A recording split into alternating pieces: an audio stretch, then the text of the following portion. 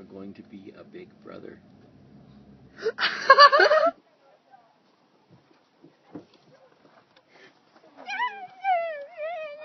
we are gonna have a baby in December because it's a really good game.